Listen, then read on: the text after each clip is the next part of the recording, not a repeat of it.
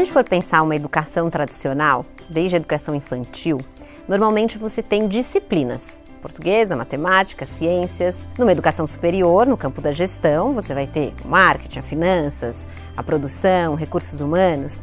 Isso é pensar uma educação disciplinar.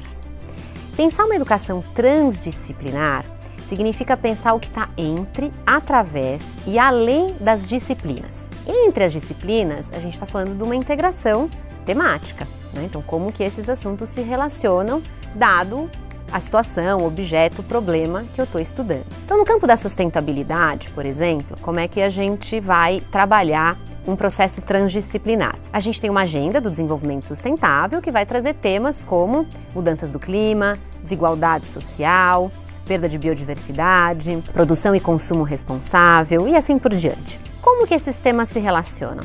O que pobreza tem a ver com clima? O que, que clima tem a ver com produção? E assim por diante.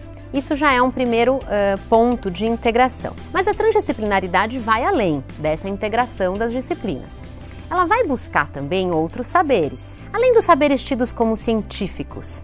Como é você poder se relacionar também com conhecimento tradicional? Um gestor de sustentabilidade precisa uh, reconhecer esse tipo de saber, porque ele lida muitas vezes com outros públicos. Além disso, a transdisciplinaridade vai fazer um convite para integrar o sujeito que conhece. E aí a diferença de você falar de uma educação sobre sustentabilidade, onde o sujeito que conhece está de um lado e o objeto do conhecimento dele está do outro, e você falar de uma educação para a sustentabilidade.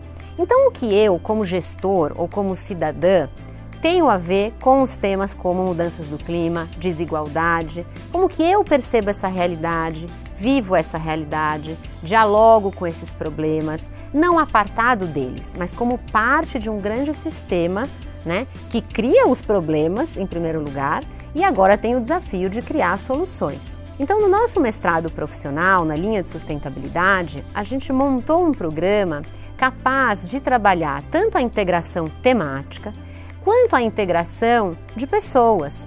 Então, nossos alunos e alunas desenvolvem projetos com stakeholders de fora da academia, com sociedade civil, poder público, empresas, como uma parte né, de integração. Esperamos que o aluno ou aluna saia desse percurso com o conhecimento especializado acerca dos temas, né, um conhecimento com base científica, também um conhecimento aplicado ao campo da gestão, então como que as temáticas de sustentabilidade se integram à gestão empresarial, mas para além disso, como que outras vozes precisam ser consideradas, outras realidades, outros saberes e ele ou ela mesma, né, como gestor, como cidadão, diante dessas realidades que ele vai enfrentar em termos de desafios profissionais e também pessoais.